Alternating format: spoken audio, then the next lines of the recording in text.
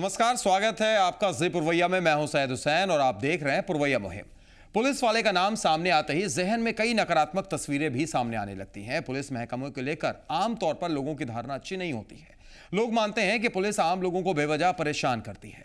लेकिन आज हम आपके सामने एक ऐसी तस्वीर दिखाने जा रहे हैं, जिसे देखकर आम लोगों की ये सोच भी बदल सकती है। क्योंकि सहरसा का एक पुलिस अधिकारी आज ऐसी सजा झेल रहा है, जिसकी खता उसे मालूम ही नहीं है। नौबत यह आ गई है कि आज वो दाने दाने को मोहताज है। आखिर क्या है पूरा मामला? और पुलिस वाले को मिले उसका वाजिब हक। इसी पर है आज की हमारी मुहिम।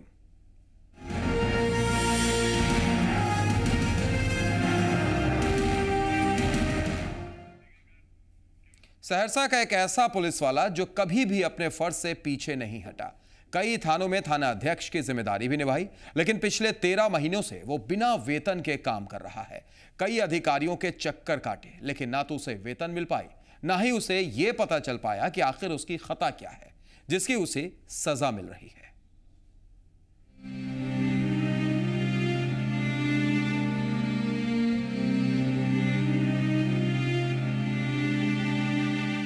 एक पुलिस वाले की कहानी।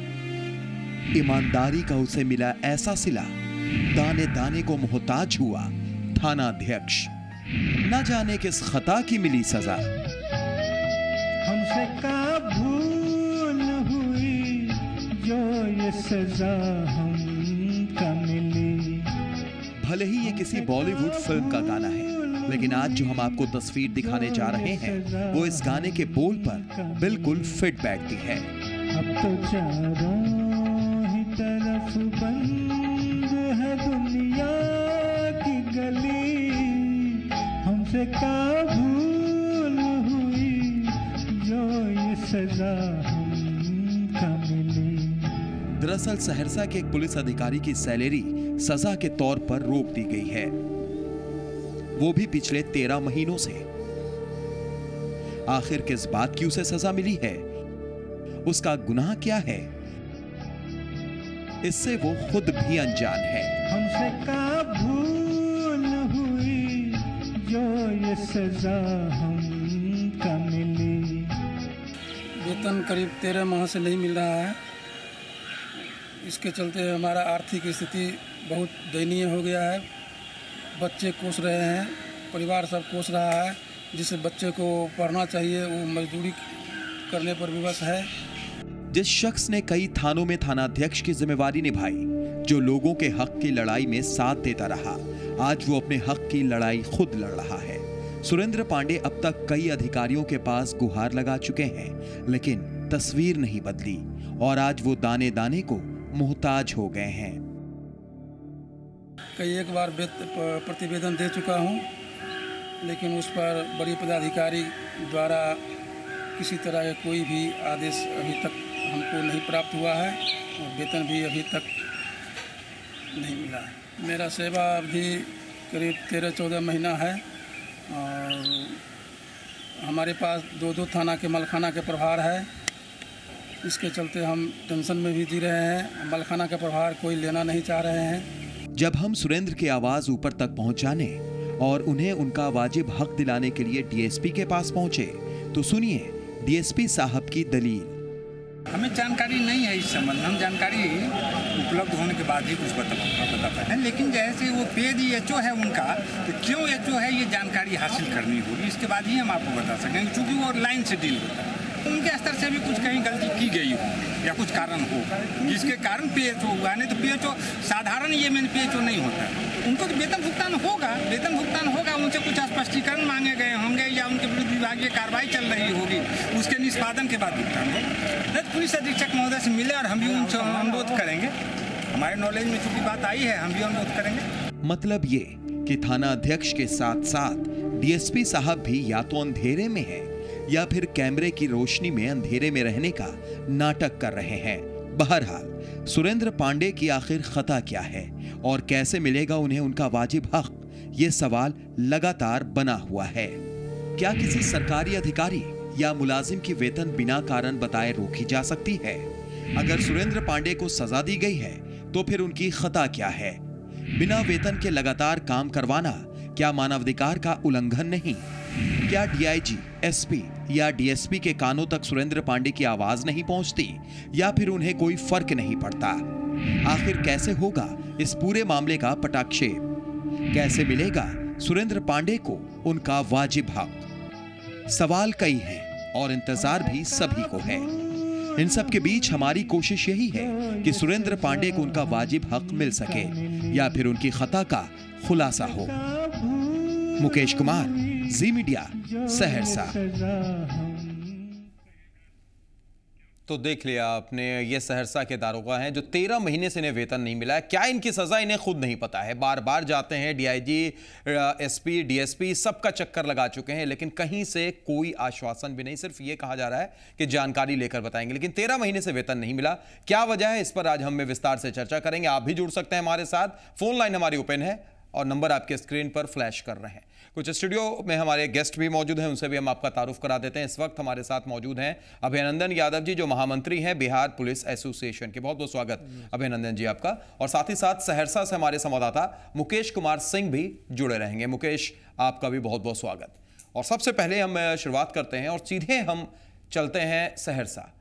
और जानने की कोशिश करते हैं, जहाँ पर हमारे संवाददाता मुकेश इस वक्त मौजूद हैं कि मुकेश, आखिर किस खता की सजा सुरेंद्र पांडे को मिल रही है? आप अभी तक क्या समझ पाए हैं पूरे मामले को? विस्तार से समझाइए। सैयद यह बिल्कुल चौंकाने वाला मामला है, और हम दर्शकों को भी बताना चाहेंगे कि यह मामला क्या है। सुरेंद्र पांडे एसआई के पद पर सदर थाने में कार्यरत है और पिछले तेरह महीने से उन्हें वेतन नहीं मिला है।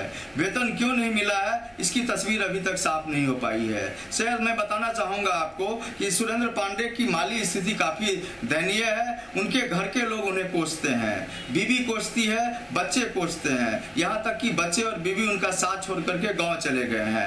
आप समझ सकते हैं कि जिस अधिकारी को तेरह महीने से वेतन न मिले हो उनके परिवार की स्थिति क्या होगी सैयद। लेकिन बड़ा चौंकाने वाला मामला यह है कि अमूमन मामले में सैयद हमने भी देखा है और आपने भी देखा होगा कि कोई वजह बताई जाती है कि आखिर वेतन क्यों रोका जा रहा है। और पुलिस अधिकारी के मामले में जब कभी भी कार्य में लापरवाही होती है या फिर कोई जाँच का जिम्मा अगर किसी अधिकारी को सौंपा जाता है एक तय अवधि मुकर्र की जाती है और उस अवधि के दौरान जब काम को अंजाम नहीं दिया जाता है तो उन पर कोई कार्रवाई होती है।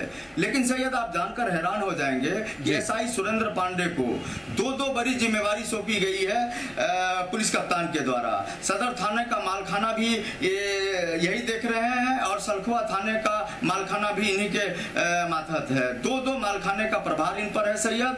और इसके अलावा तमाम तरह के जो केस थाने में दर्ज होते हैं उसमें से भी कुछ बड़े मामले की जाँच इन, इनके द्वारा की जाती है। तो कह सकते हैं कि इस मामले में अ, कहीं कोई लापरवाही नहीं दिख रही है कहीं कोई वजह नहीं दिख रही है। आखिर किस वजह से तेरह महीने का इनका वेतन रोका गया है। यह तस्वीर बिल्कुल साफ़ नहीं हो पा रही है सैयद।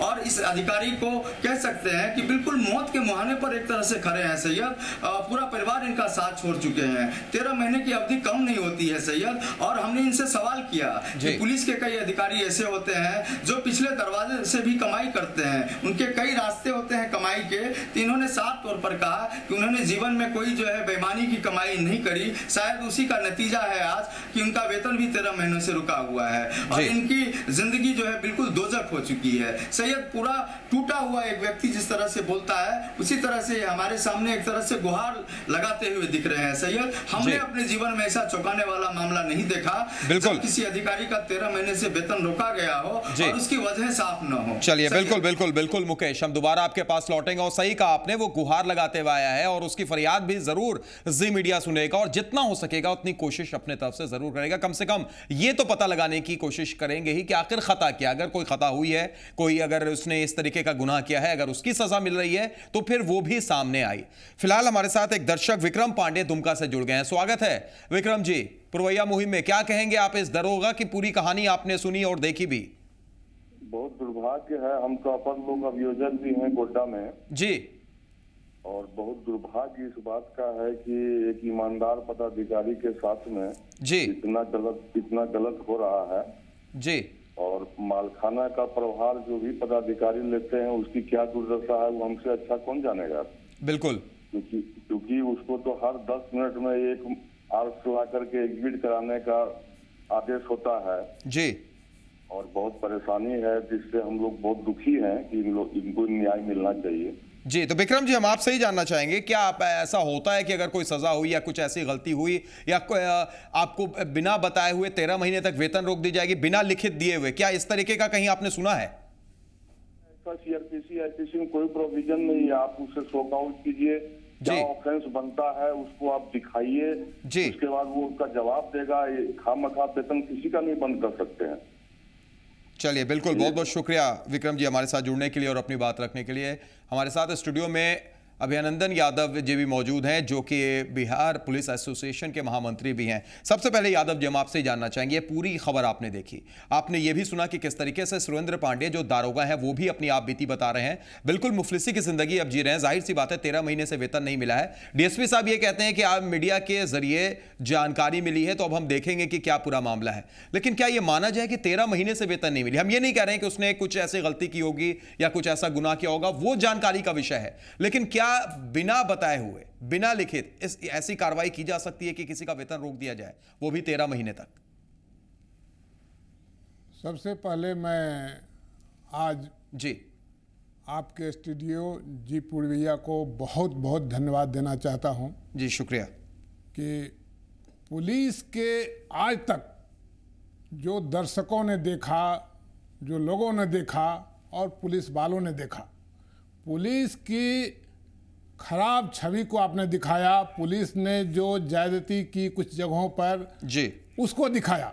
आज मैं पहली बार देखा कि आज आप पुलिस के दर्द को भी दिखा रहे हैं। जी जो सच्चाई होती है सामने लाते हैं और कई तो बार हमें पुलिस का ये भी दर्द दिखा चुके हैं। मैं यादव जी। आपको जी पुरवैया को बहुत। बहुत धन्यवाद देना चाहता हूँ। जी।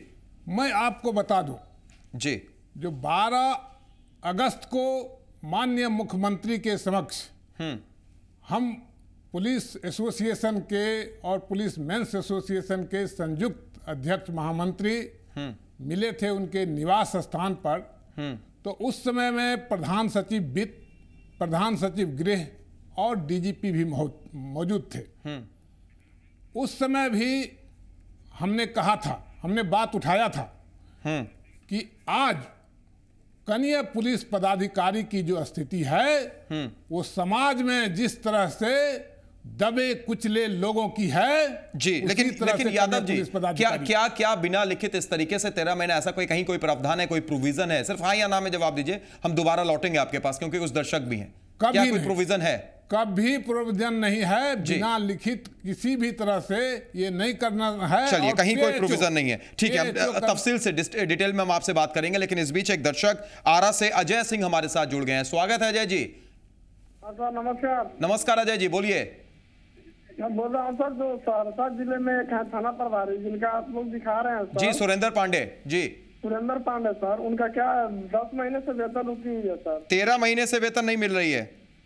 तेरह महीने से नहीं मिले सर उनका दाना पानी के लिए मुहताज है सर। ईमानदार पुलिस ऑफिसर के साथ अक्सर बिहार में ऐसा ही हो रहा है सर। जी जी जी। चलिए सरकार इससे सरकार को थोड़ा एक नज़र डालना चाहिए सर कि आखिर ईमानदार पुलिस ऑफिसर जो अपने काम में मौजूद रह रहे हैं जी। तो खाने पीने का विधि व्यवस्था देना अति आवश्यक है सर। चलिए बहुत बहुत शुक्रिया अजय जी हमारे साथ जुड़ने के लिए और अपनी बात रखने के लिए। और इस वक्त सहरसा से ही एक दर्शक हमारे साथ अरविंद कुमार जुड़ गए हैं। माफ़ कीजिएगा अरुण हैं। स्वागत है अरुण जी क्या कहेंगे आप? जी। बोलिए। मैं कहना चाहता हूँ कि आप अपने चैनल के माध्यम से भारतीय जनता पार्टी के उन नेताओं को बतावें कि अभियानंद ऐसे कुशल प्रशासनिक अफसर डीजीपी के पद पर रहे हैं दो महीना पहले तक। जी। तो क्या उनको ये बात समझ में नहीं आया कि एक ईमानदार पुलिस ऑफिसर तेरह महीना से जिसका बीवी बच्चा घर से चला गया अभाव के चलते अपने गाँव में रहने लगा। जी। और वह पुलिस अफसर मानसिक तनाव में है क्या वह आम आदमी को गरीब गुरबा को या सही ढंग से अपना काम कर सकेगा? अपना कर्तव्य निष्ठा निभा पाएगा? जी अरविंद जी चलिए इससे पहले हम आपसे ये भी जानना चाहेंगे कि आप सहरसा से ही बोल रहे हैं। क्या आप इनको जानते भी हैं? सुरेंद्र पांडे जी को जानते हैं आप? मैं उनको नहीं जानता हूँ ठीक से।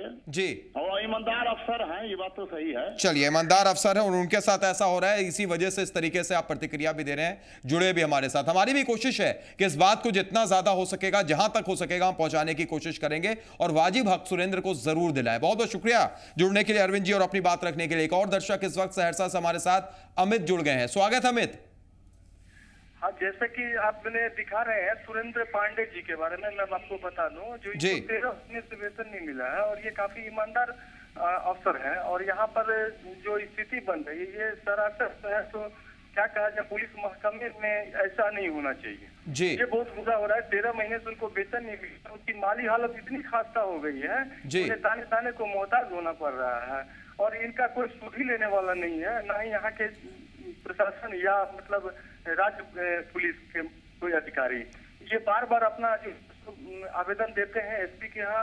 या राज्य मुख्यालय को, लेकिन इनके आवेदन पर कोई भी सुनवाई नहीं होती है। ये बड़े शर्म की बात है। चलिए, बिल्कुल, बहुत बहुत शुक्रिया अमित हमारे साथ जुड़ने के लिए और तमाम बातचीत करने के लिए। एक और दर्शक इस वक्त जहानाबाद से सुनील हमारे साथ जुड़ गए हैं। सुनील, स्वागत है पुरवैया मुहिम में। आप ये तस्वीर देख रहे होंगे पुलिस वाले की कि किस तरीके से उनके साथ ये नाइंसाफी हुई है। तेरह महीनों से वेतन नहीं मिला है। क्या प्रतिक्रिया है सुनील, आपकी? हमारा प्रतिक्रिया यही है कि तेरह महीना से इनको वेतन नहीं मिला है। अब तो सरकार के द्वारा यह भी प्रावधान कर दिया गया है। जी। टीवी का वॉल्यूम बंद कर दीजिए। सुनील जी टीवी का वॉल्यूम बंद कर दीजिए। हम आपकी बात सुन रहे हैं। आरटीआई के तहत वो मांग सकते हैं कि रीजन क्या है?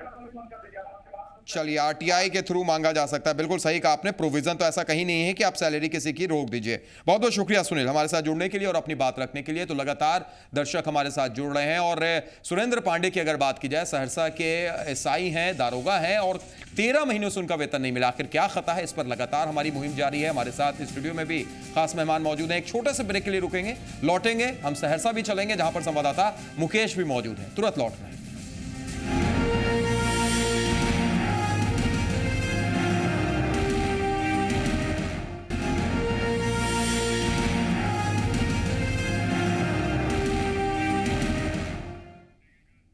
ब्रेक के बाद स्वागत है पुरवैया मुहिम में हम लगातार आज चर्चा कर रहे हैं सहरसा के एक दारोगा सुरेंद्र पांडे की जो तेरह महीने से उन्हें वेतन नहीं मिला है। क्या उनसे सजा हो गई? क्या खता हो गई? यह कुछ अभी तक नहीं पता चल पाया है। इसी पर हमारी मुहिम जारी है। इस वक्त एक दर्शक सहरसा से ही आनंद झा जुड़ गए हैं फ़ोन लाइन के ज़रिए। स्वागत है आनंद जी। जी सर। जी बताइए। हाँ सर ये आपने जो सबसे पहले ये खबर दिखलाया पुलिस की अच्छाई के बारे में सबसे पहले आपको धन्यवाद और आपके संवाददाता को धन्यवाद। शुक्रिया शुक्रिया आनंद जी। बोलिए आप हाँ, अपनी राय दीजिए। सर ये जिस सुरेंद्र पांडे की बात की जा रही है ये बेहद ईमानदार ऑफिसर है मैं इनको बहुत भली भली जानता हूँ सर। जी तो क्या हो गया आखिर ऐसा? क्या लगता है क्या हमको तो लगता है कि सर जिस पदाधिकारी ने इनका वेतन रुका है उनको ये समझ में नहीं रहा कि इनके ईमानदारी की सजा उन्होंने दी है कि इनके कर्मों की सजा इनको मिला है। जी हाँ, चलिए तो मैं तो यही कहूँगा पर ये पदाधिकारियों से भाई इनके परिवार जो बिखर गए इनके परिवार जो घर चले गए हैं भाई उनको एक जगह कीजिए और इनका वेतन तो चालू कीजिए। चलिए बिल्कुल बहुत बहुत शुक्रिया आनंद जी जुड़ने के लिए और हमारी भी यही कोशिश है हमारी भी यही मुहिम है कि इनको इनका वाजिब हक मिल सके। बहुत बहुत शुक्रिया। एक और दर्शक इस वक्त आरा से अर्चना हमारे साथ जुड़ गई है। स्वागत है अर्चना। क्या कहेंगी आप? सर मैं ये कहना चाहती हूँ कि जो ये कांस्टेबल है जो? मेरी मम्मी भी एक पुलिस कांस्टेबल है और मैं इनके दुख को भली भांति जानती हूँ। क्योंकि वो जिस जिस दौर से गुजरती हूँ मैं उसको अच्छी तरह से देख सकती हूँ। अगर किसी की ईमानदारी का ये सजा है तो बिहार कैसे डेवलप करेगा? आप लोग डेवलपिंग की बात करते हैं तो डेवलप किसको कहते हैं? सजा को डेवलपिंग कहेंगे जी तो बिल्कुल ये हमारे ये हमारे सरकार से आप क्वेश्चन कीजिए। कि अगर मेरी वहाँ पे मेरी मम्मी को मोतियाबिंद है बहुत ज़्यादा वो कष्ट में है। लेकिन वैसे में आप गेटिंग ड्यूटी कर रही हैं। कोई कहीं से मरोमत वाली बात नहीं है।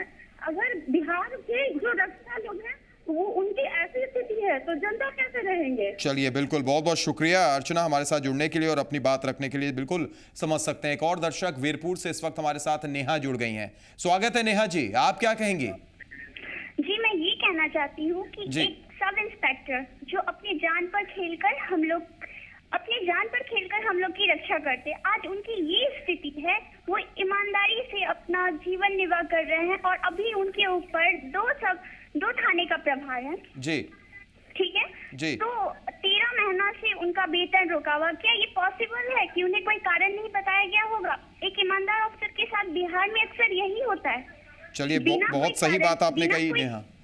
सर सुनिए बिना कोई कारण के आप किसी अफसर के नहीं रोक सकते। और वो तेरह महीना से उनकी वेतन रुकी हुई है जी। और ऊपर से वो काम कर रहे हैं। उनको दो प्रभार दिया हुआ है और कुछ ही दिन पहले जी। यहाँ की चेंज हुए हैं और चलिए बिल्कुल बिल्कुल बिल्कुल नहीं हम समझ सकते हैं हम समझ सकते हैं ये बात ज़ाहिर तौर पर और यही हमारी कोशिश भी है इसलिए हमने मुहिम भी छेड़ी है कि सुरेंद्र पांडे को उनका वाजिब हक मिल सके। एक और दर्शक दिल्ली से इस वक्त हमारे साथ दीपक जुड़ गए हैं। स्वागत है दीपक। आप तस्वीर देख रहे होंगे सुरेंद्र पांडे की पूरी कहानी आप समझ रहे होंगे। दीपक हमारी आवाज़ पहुँच रही है आप तक? जी सर जी सर मुझे तो लग रहा है सर अब बिहार में जो है फिर से जंगल राज जो है फिर आ गया है सर। जी। जी जब से बीजेपी और नीतीश का दोनों का गठबंधन और नीतीश जी ने बीजेपी से अलग हो गए हैं तब जंगल राज जो है बिहार में चलिए बिल्कुल बीजेपी नहीं आरजेडी और जेडीयू के गठबंधन की शायद आप बात कह रहे हैं। बहरहाल दीपक बहुत बहुत शुक्रिया हमारे साथ जुड़ने के लिए और अपनी बात रखने के लिए। तो निश्चित तौर पर हर तरफ़ से दर्शक हमारे साथ जुड़ रहे हैं और एक ही बात कह रहे हैं कि आखिर सुरेंद्र पांडे की खता क्या थी? यह भी हमने जानने की कोशिश की आपको बता दें कि सुरेंद्र पांडे की खता क्या है क्यों उन्हें वेतन नहीं मिल रहा है? इसी सवाल का जवाब तलाशने जी मीडिया संवाददाता मुकेश कुमार सदर थाना अध्यक्ष सह सदर इंस्पेक्टर सुरकांत चौबे के पास भी गए। सुनिए क्या था कहना सदर थाना अध्यक्ष का। एसआई सुरेंद्र पांडे का मात्र तेरह महीने का कार्यकाल बचा है लेकिन तेरह से चौदह महीने हो गए हैं उन्हें वेतन नहीं मिला है। इंस्पेक्टर सदर हमारे साथ मौजूद है जानते हैं उन्हीं से कि क्या कारण है। इंस्पेक्टर साहब क्या कारण है तेरह चौदह महीने से वेतन नहीं मिला है पांडे जी को? डिटेल जानकारी हमसे हमें नहीं है। डिटेल जानकारी बड़े पदाधिकारी से मिलेगा तो क्या इस तरह से अगर बड़े अधिकारी अगर किसी कनीय अधिकारी के साथ करते हैं, परिवार जो है टूट रहा है, बच्चे इनको कोस रहे हैं, बीवी कोस रही है, परिवार के सारे सदस्य उनको छोड़ के चले गए हैं, बड़ा मामला बनता है ये स्वाभाविक चीज़ है, इस चीज़ को आप समझ सकते हैं और इस पर कार्रवाई हो रही है, अपने वेतन रिलीज़ कराने का काम चल रहा है। तो देख रहे हैं कि इंस्पेक्टर साहब एक तरह से अपना पल्ला झाड़ रहे हैं। चूँकि मामला बड़ा है, एक कनीय अधिकारी का मामला है और कार्रवाई बड़े अधिकारी को करनी है। इन्होंने खामोशी से ही बहुत कुछ कह दिया है, जिन्हें हमें समझना है। कैमरा पर्सन अमित के साथ मुकेश कुमार सिंह, जी मीडिया, सहरसा। तो सबसे बड़ा सवाल यह है कि उन्हें भी नहीं पता। वो भी यही बात कह रहे हैं कि भाई हमें पता ही नहीं है जानकारी नहीं है। तो आखिर क्या ऐसी मामला है कि तेरह महीने हो गए वेतन नहीं मिलती और किसी को जानकारी भी नहीं है? एक दर्शक मध्य प्रदेश से इस वक्त हमारे साथ जुड़ गए हैं। स्वागत है आपका अपना नाम बताइए और कहिए क्या प्रतिक्रिया है आपकी? जी सर मेरा नाम संजय गुप्ता है। जी, संजय जी, मैं बोलिए। आपको बधाई देना चाहता हूँ कि आपने जो ऐसे मुहिम जारी किया है। जी शुक्रिया। और मैं यही कहना चाहता हूँ कि ये जो है पूरे पुलिस डिपार्टमेंट की सिस्टम की फेलियर है और इसीलिए जो है आज का युवा पुलिस में भर्ती नहीं होना चाहता क्योंकि ईमानदार लोगों की जो है वहाँ पे अवहेलना होती है। जी। बिल्कुल बिल्कुल बिल्कुल। ईमानदारी की सजा ऐसे ही मिलती है। चलिए ईमानदारी का इनाम बोलिए या सजा बोलिए शायद ऐसा ही कुछ। बहुत बहुत शुक्रिया संजय हमारे साथ जुड़ने के लिए और अपनी बात रखने के लिए। एक और दर्शक इस बीच हमारे साथ हैदराबाद से जुड़ गए हैं। स्वागत है आपका। अपना नाम बताइए और क्या राय है आपकी इस पूरे मामले पर? तो उनसे हमारा संपर्क फ़िलहाल टूट गया है। अभिनंदन जी तस्वीर आप लगातार देख रहे होंगे लगातार दर्शक भी आ रहे हैं इस वजह से हम आपके पास भी बहुत कम आ पा रहे हैं। लेकिन फिर भी हम आपसे जानना चाहेंगे आपने शुरू में कहा कि प्रोविज़न है ही नहीं कि कुछ इस तरीके से किसी के सैलरी रोकी जाए। फिर क्या हो सकता है क्या वजह हो सकती है? और यहाँ पर सुरेंद्र पांडे को क्या करना चाहिए? आप क्या कर सकते हैं? बतौर महामंत्री रहते हुए बिहार पुलिस एसोसिएशन के। देखिए सबसे पहले जी। 2011 में जब डीजीपी हमारे नीलमणि साहब थे उस समय ने एक आदेश निकाला कि किसी भी स्थिति में किसी भी कांस्टेबल हवलदार सिपाही अफसर का इंस्पेक्टर तक का किसी भी स्थिति में उसका वेतन रोका नहीं जाना चाहिए। तो पहला आदेश। दूसरा आदेश डीजीपी जब श्री अभियानंद साहब थे उन्होंने दूसरा आदेश निकाला कि किसी भी हालत में उसको वेतन एचओ नहीं किया जाएगा। मैं कहना चाहता हूँ जी। ये डीजीपी का आदेश नहीं माननीय मुख्यमंत्री का आदेश का पालन नहीं हो रहा है यहाँ पर। हमारे वरीय पदाधिकारी जो है उनको नहीं पालन करते हैं। तो ये बहुत ही दुखद और शर्मनाक घटनाएँ हैं। और ऐसी बातें जब मैंने मुख्यमंत्री के पास रखा था 12 तारीख को 12 आठ को इसी में तो उन्होंने बहुत ही जोरदार ढंग से कहा जो इस तरह की आप लोग क्यों करते हैं? और उन्होंने तब कहा जब उसमें नई सूत्री मांगों को रखा था ये हमारे साथ समस्याएँ हैं। चलिए वो तो पूरी उन्नीस सूत्री मांगी मा, मांगों की बात हो गई लेकिन सुरेंद्र के लिए क्या कुछ किया जा सकता है? क्या ये आवाज़ आप वहाँ तक उठाएँगे? डीजीपी तक आप ले जाएँगे मामला मुख्यमंत्री तक ले जाएँगे? हाँ पहली बात जी। ये मामला भी मैंने उठाया था। जी। अच्छा ये मामला आप उठा चुके हैं? जी जी। ये मामला ये पर्टिकुलर नहीं इस मामले को उठाया था। हमारे पूरे जिला में सभी जगह एसोसिएशन का कार्यालय है एसोसिएशन के पदधारक हैं और उसको तीन साल का टर्म है जिसको कि एक गलत आदेश से दो साल का टर्म कर दिया गया। इस तरह ठीक है हमारे ये ये इससे मिलता जुलता मामला था लेकिन पूरा सुरेंद्र का यूनिट बाधित है। सुरेंद्र का मामला तेरह महीनों से वेतन नहीं मिला है ये एक बड़ा मामला है और ये भी नहीं पता है कि उनसे हुआ क्या है उनके खता क्या है क्या उन्होंने ऐसा कुछ कर दिया? ये बहुत बड़ा सवाल है। हम दोबारा आपके पास लौट रहे हैं यादव जी लेकिन उससे पहले एक दर्शक मणि यादव हमारे साथ महाराष्ट्र से जुड़ गए हैं। स्वागत है मणि जी। सर मैं महाराष्ट्र में बोल रहा हूँ। जी जी बोलिए मणि जी। मैं यहाँ का एक शिवसेना का क्या कहता हूँ साहब ये पुलिस वाले के साथ में बदतमीजी लोग कर रहे हैं के अधिकारी जी।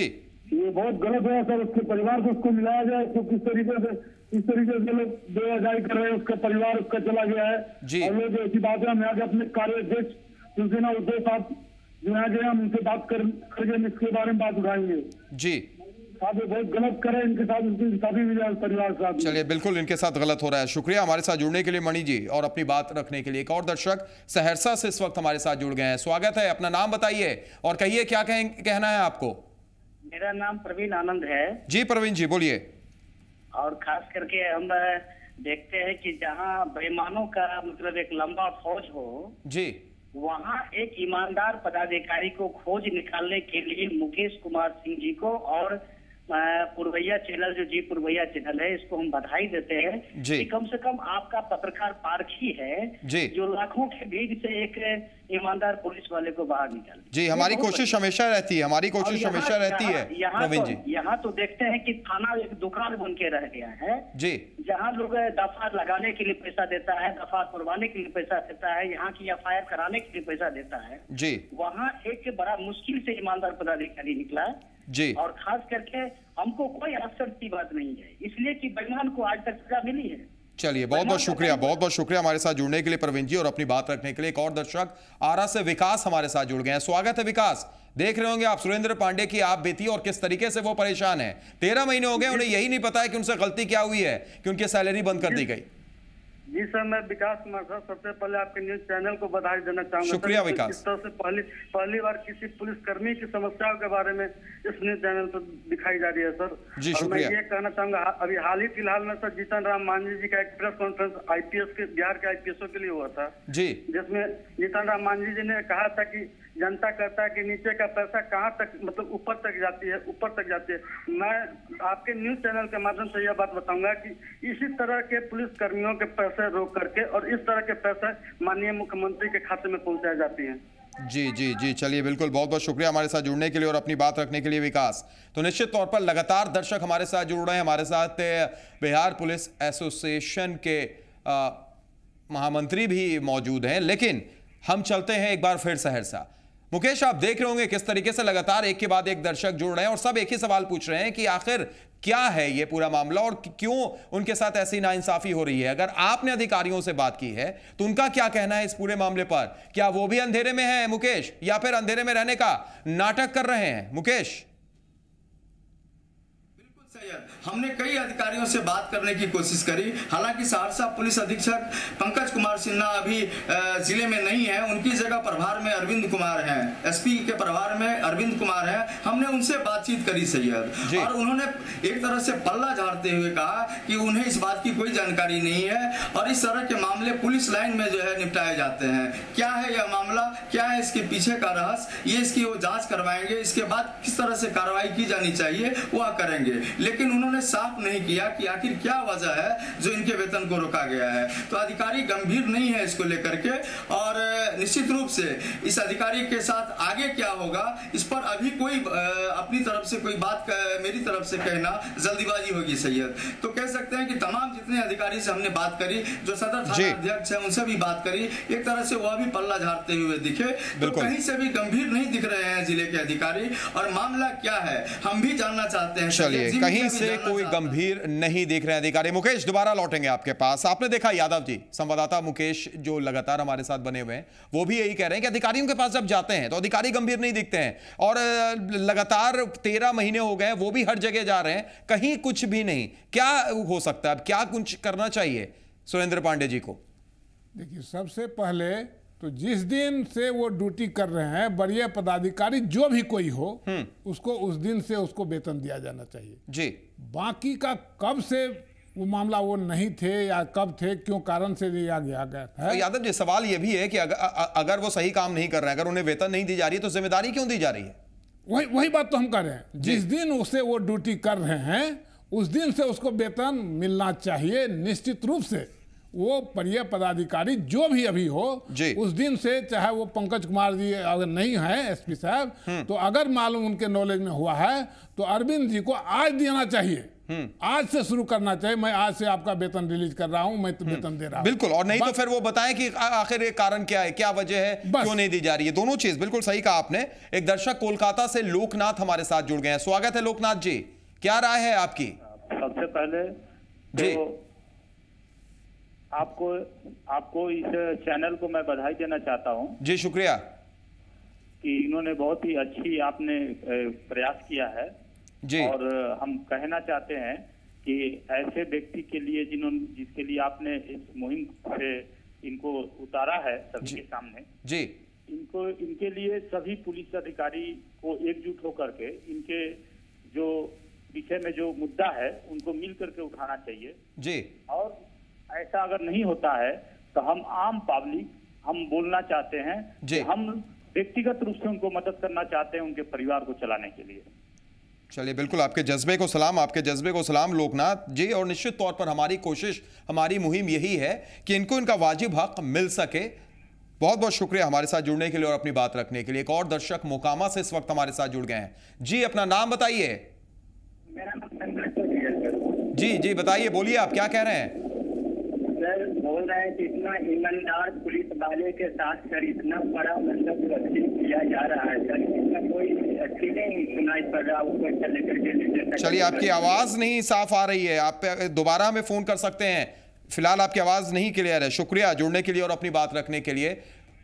तो फ़िलहाल एक छोटे से ब्रेक के लिए हम रुकेंगे, लेकिन ब्रेक के बाद भी लगातार हमारी चर्चा जारी है। फ़ोन लाइन ओपन है, आप हमें जुड़ सकते हैं, आप अपनी राय रख सकते हैं। हम सहरसा भी चलेंगे मुकेश के पास और स्टूडियो में हमारे साथ बिहार पुलिस एसोसिएशन के महामंत्री भी मौजूद हैं। छोटा सा ब्रेक तुरंत लौट रहे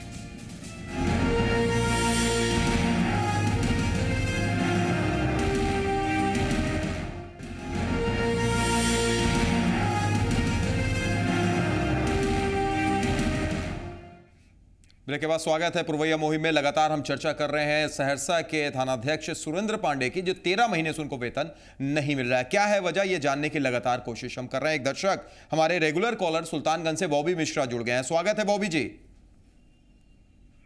बॉबी जी हमारी आवाज़ पहुँच रही है आप तक?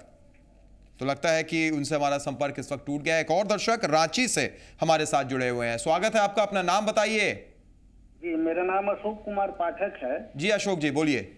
जी ये आपके चैनल को इस पहले तो मैं बधाई दूँ। जी शुक्रिया। और संयोग से अभी जो आप महामंत्री जी वहाँ आपसे बैठे हैं वहाँ उनके साथ मैं भी काम किया हूँ और मैं भी झारखंड पुलिस एसोसिएशन से जुड़ा रहा हूँ। अच्छा, अच्छा। आप मुझे उनसे बात करा सकते बिल्कुल बिल्कुल वो सुन रहे हैं वो सुन रहे हैं आप बोलिए। नमस्कार अच्छा तो अभिनंदन। नमस्कार नमस्कार।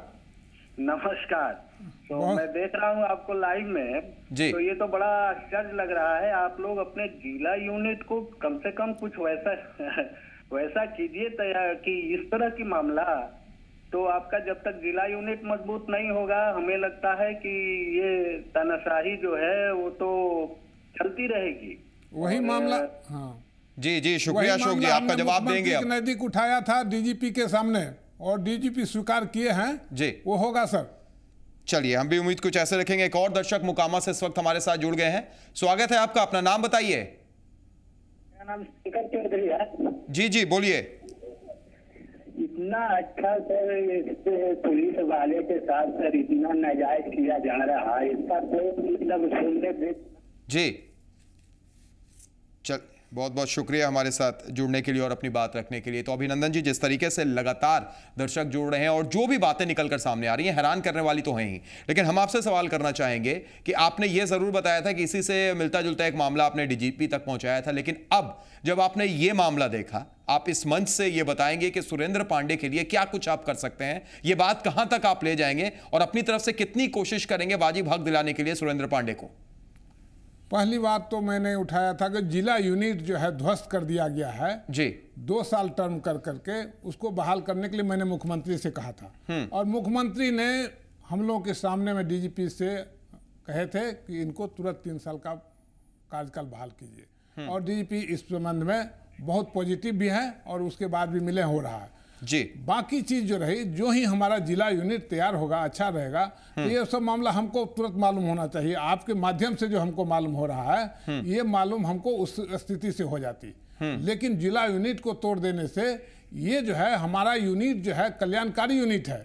और हम जो है कल्याण की भावना से काम करते हैं। हम पूरे बिहार के अठारह हज़ार पुलिसकर्मी अपना डेढ़ सौ दो सौ अढ़ाई सौ रुपया कटवा कर कर करके उससे मदद करते हैं।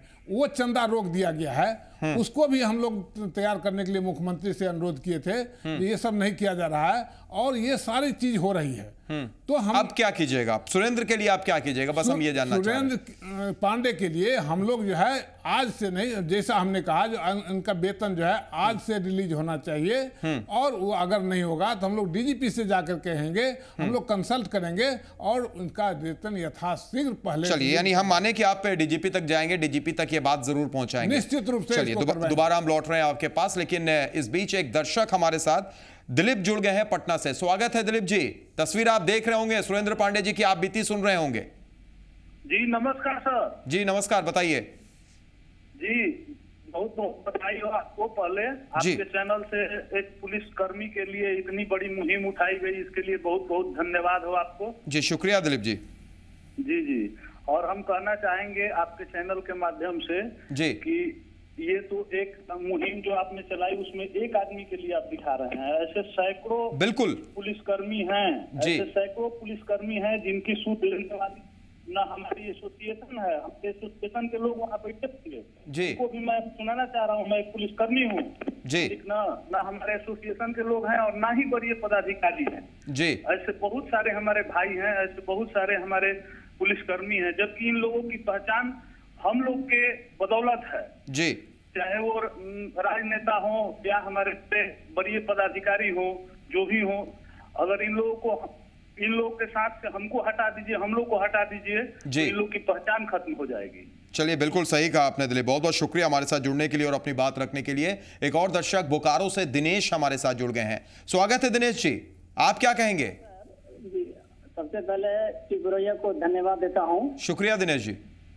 जिन्होंने ये फुटेज को दिखाया है। जी जी। सर मैं ये कहना चाहता हूँ कि इनको ये नहीं पता है कि हमारी खता क्या है। जी। और प्रशासन को भी नहीं पता है कि ये गलती क्या किया है। जी। उसके बावजूद भी इनका पेमेंट रोका गया है। जी। तो मैं इनसे यही आग्रह करूँगा और आपको भी आग्रह करूँगा कि इन्हें न्यायालय के दरवाजे तक जाना चाहिए। जी। न्यायालय जाना चाहिए वहाँ पे गुहार लगा करके अपने जो भी सारे अधिकारियों तक पहुँचे हैं गुहार लगा चुके हैं। अब लगता है कि न्यायालय ही बच गया है। शुक्रिया हमारे साथ जुड़ने के लिए दिनेश जी और अपनी बात रखने के लिए। एक और दर्शक पटना से विश्वनाथ हमारे साथ जुड़ गए हैं। स्वागत है विश्वनाथ जी। आपकी क्या राय है? सर पहले आपके चैनल को सर बहुत बहुत धन्यवाद ये दिखाने के लिए। जी शुक्रिया। और ये कहना था सर आप मतलब न्यूज़ चैनल के माध्यम से हमेशा घुसखोर या मतलब पुलिस की दबंगई दिखाते रहे हैं। जी जी। आज पहला बार हुआ है जो आप पुलिस की बेबसी दिखा रहे हैं। जी। अब आपने जैसे बताया जो भी एसपी है उन तक मतलब नहीं पहुँचा वो पर्दा डाल रहे हैं। ये तो आपने पहले ही बताया कि एसपी के पास लिख के दे चुके हैं। जी। एक भी पर्दा डाला डाला जा रहा है। जी। ये सीधी बात है सर उनके जो भी अधिकारी हैं वो मतलब भ्रष्ट हैं और इनको भ्रष्ट में सम्मिलित करने के लिए मतलब इनको परेशान किया जा रहा है। चलिए बहुत बहुत शुक्रिया हमारे साथ जुड़ने के लिए विश्वनाथ जी और सारी बात रखने के लिए एक और दर्शक मधुबनी से हमारे साथ रणधीर जुड़ गए हैं। स्वागत है रणधीर जी। आप क्या कहेंगे? हम एक बात सिर्फ़ इतना कहना चाहेंगे जी। कि सर इनसे जब ड्यूटी लिया जा रहा है इनको पैसा नहीं दिया जा रहा है बड़े बड़े ऑफिसर भी इस फैसले को नहीं जानते हैं किस कारण से उनका पैसा रोका गया है महीना रोका गया है। जी। अगर आप मुझे सिर्फ़ इतना बता दें कि आपका चैनल जब तक उसे न्याय मिलेगा तब तक दिखाते रहेंगे उसे छोड़ना नहीं है। बिल्कुल बेफिक्र रहिए रणधीर जी बेफिक्र रहिए इस बात को लेकर। हम बिल्कुल इस मामले का फॉलो अप भी करते रहेंगे जानने की कोशिश करते रहेंगे कि आखिर वजह क्या है। बिल्कुल बेफिक्र रहिए रणधीर जी इस चीज़ के लिए मैं आपको आश्वासन देता हूँ आश्वस्त करता हूँ। शुक्रिया हमारे साथ जुड़ने के लिए और अपनी बात रखने के लिए। एक और दर्शक धनबाद से हमारे साथ जुड़ गए हैं। स्वागत है। क्या कहेंगे आप? हम कहेंगे कि किस वजह से उनको बैठाया गया? जी। तनख्वाह नहीं मिला। जी। और जो है उनको हम बोल रहे हैं कि उनको तो केस करना चाहिए। जी। क्योंकि कुछ नहीं हुआ तो केस करके पैसा मिल जाएगा। जी। क्योंकि हम भी गवर्नमेंट सर्विस थे तो हम लोग का कुछ हुआ तो हम लोग कोर्ट में केस किए। तो कोर्ट केस जीत गए तो हम लोग को पैसा मिल गया। जी। लेकिन इनको कोर्ट केस करना चाहिए। चलिए कोर्ट में जाना चाहिए। शुक्रिया हमारे साथ जुड़ने के लिए और अपनी बात रखने के लिए। तो लगातार दर्शक जुड़ रहे हैं। फ़िलहाल यहाँ पर हम एक हमारे रेगुलर कॉलर बॉबी मिश्रा जुड़ गए हैं। स्वागत है बॉबी जी। देख रहे होंगे आज आप तस्वीर सुरेंद्र पांडे की। क्या कहेंगे? जी सर सैयद की ये घटना मुझे जी। एक हमारे को महीने की नहीं मिली। ये सरकार की चलिए बॉबी जी माफ़ कीजिएगा आपकी आवाज़ साफ़ से नहीं पहुँच रही। एक और दर्शक असम से हमारे साथ जुड़ गए हैं। स्वागत है आपका अपना नाम बताइए। मेरा नाम नवीन चंद्र झा है। जी नवीन जी बोलिए। जो राज्य भ्रष्ट से लिप्त है जी। वहाँ एक ईमानदार ऑफिसर कैसे रह सकता है? जी। इसको इसको भ्रष्ट होने के लिए मजबूर किया जा रहा है। जी। यही मेरा कहना है। चलिए भ्रष्ट होने के लिए मजबूर किया जा रहा है। बिल्कुल छोटी सी प्रतिक्रिया आपकी लेना चाहेंगे अभिनंदन जी ये इस सवाल पर ब्रेक के लिए भी रुकना है मुझे। सबसे बड़ी बात जी। जो एक दर्शक ने हमें प्रेरणा दी जी। कि जब तक इनको वेतन नहीं मिलता है तब तक इसको दिखाते रहेंगे। मैं आपसे कहना चाहता हूँ ऐसा एक सुरेंद्र पांडे जी तो आपको नज़र आया ज़रूर लेकिन हमारे सैकड़ों ऐसे आदमी हैं जो कि छह महीना आठ महीना साल भर पाँच साल से रिटायर हो चुके हैं बिल्कुल एक बानगी भर है। सुरेंद्र पांडे सिर्फ़ एक बानगी भर है। समझ सकते हैं इस बात माल खाना का चार्ज देने के चलते लेकिन बूंद बूंद समुद्र भरता है ये ये भी हम जानते हैं। अगर एक सुरेंद्र को मैं आपको एक एक एक आश्वासन लेना चाहता हूँ और आपको एक सजेशन देना चाहता हूँ कि प्रत्येक सोमवार को जी। जब तक ऐसे पदाधिकारी को सूची मांगिए आप आपको सैकड़ों हज़ारों संख्या में मिल जाएँगे जिसका वेतन एचओ है क्यों एचओ है और सोमवार को जब तक सुरेंद्र पांडे को वेतन नहीं मिलता है प्रत्येक सोमवार को इसको छह बजे से सात बजे तक दिखाइए दर्शकों की आपके यहाँ चलिए लाइन लगी रहेगी। बिल्कुल बिल्कुल बिल्कुल हमारी कोशिश रहेगी कि इसको अंजाम तक पहुंचाकर ही हम दम ले। एक छोटा सा ब्रेक तुरंत लौटते हैं। मुकेश आपके पास भी आ रहे हैं।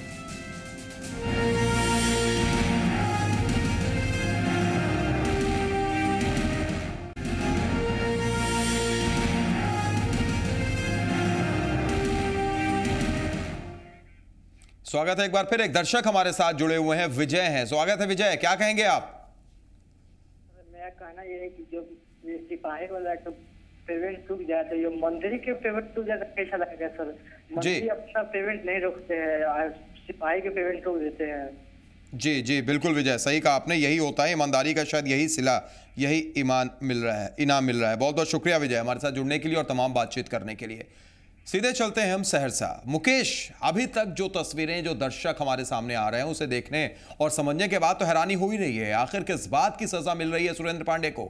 सुरेंद्र पांडे को उनका वाजिब हक मिले, इसके लिए आखिर किसे हस्तक्षेप करना होगा ताकि मामले का पटक्षेप हो सके? मुकेश। सैयद बिल्कुल, यह मामला बहुत गंभीर है, संगीन है, और इस मामले में बड़े अधिकारियों को हस्तक्षेप करने की ज़रूरत है, सैयद। और मैं आपको बताऊँ कि हमारा सहरसा जो है, परमंडलीय मुख्यालय है, यहाँ डीआईजी भी बैठते हैं। लेकिन बदकिस्मती से अभी डीआईजी यहाँ नहीं है, और दरभंगा के जो डीआईजी हैं, वह यहाँ का कामकाज देखते हैं, प्रभार उन्हीं के हाथों में है। तो डीआईजी स्तर से हमारी बात नहीं हो सकी है, हालाँकि एसपी से हमारी बातचीत हुई है, और लेकिन इस मामले में मैं साफ़ कर देना चाहूँगा, सैयद, कि जिस तरह से मामला तेरह महीने से लटका हुआ है और पुलिस कप्तान की तरफ़ से कोई गंभीरता या संजीदगी नहीं दिखाई जा रही है। ऐसे में संज्ञान लेना होगा परमंडलीय प्रशासन को जो डीआईजी के हाथ है। लेकिन वह भी चूँकि यहाँ पर नहीं है तो अब इसमें सीधा मेरा जो मानना है सैयद कि सीधा हस्तक्षेप राज्य मुख्यालय को करना चाहिए और राज्य स्तर के अधिकारी इसमें संज्ञान लेंगे तभी इस मामले का पटाक्षेप होगा। और यह भी देखना लाजमी है सैयद जी मीडिया भी देखना चाहेगा कि आखिर तेरह महीने से वेतन जो रोका गया है इस अधिकारी का इसके पीछे की वजह क्या थी? तो राज्य मुख्यालय को सीधा हमारी समस्या हस्तक्षेप करना होगा चाहे डीजीपी खुद संज्ञान ले या जो और चलिए बिल्कुल बिल्कुल मुकेश। अधिकारी जो राज्य बिल्कुल मुकेश समझ सकते हैं हम। एक अंतिम प्रतिक्रिया आपकी भी हम लेना चाहेंगे अभिनंदन जी की क्या कुछ अब किया जाए? मुकेश ने भी बताया कि डीआईजी से वो वो मिलने की कोशिश किया। डीआईजी बहरहाल इस वक्त नहीं है। एसपी दलील दे रहे हैं कि उन्हें कुछ पता नहीं है। डीएसपी को नहीं पता है। तेरह महीने से वेतन रुका हुआ है ज़िम्मेदारी निभाए चले जा रहे हैं। क्या होगा? सबसे पहले तो मैं कल ही जाकर डीजीपी से मिलूँगा जी। और इस समस्या का समाधान कराने की कोशिश करूँगा। दूसरी बात जी। मैं आपको जो एक सजेशन दिया था आप उस पर भी निश्चित रूप से करेंगे और मैं भी मैं भी डीजीपी से कहूँगा कि ऐसे एक सुरेंद्र पांडे ही नहीं है बल्कि सैकड़ों से ज़्यादा हमारे पुलिस पदाधिकारी हैं जो दो साल तीन साल से रिटायर हो गए हैं। मालखाना के चार्ज नहीं दे पाए हैं और मालखाना का चार्ज सबसे बड़ी समस्या है। वहाँ पर जो है पुलिस अधीक्षक किसी एक ऐसे निरीह के हाथों में डाल देते हैं मलखाना और वो तबाह होते रहते हैं। रिटायरमेंट में उसको पेंशन नहीं मिलता है ग्रेचुटी नहीं मिलता है और उसके परिवार भूखों मरते रहते हैं। तो इस समस्या का समाधान करना सबसे बड़ा ज़रूरी है।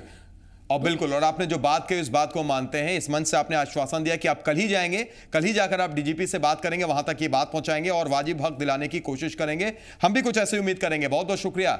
अभिनंदन जी, आप आए, आपने चर्चा की, बहुत बहुत शुक्रिया। और मुकेश, आपका भी बहुत बहुत शुक्रिया हमारे साथ जुड़ने के लिए और तमाम बातचीत करने के लिए। तो आज के लिए पुरवैया मुहिम में इतना ही। दीजिए इजाज़त।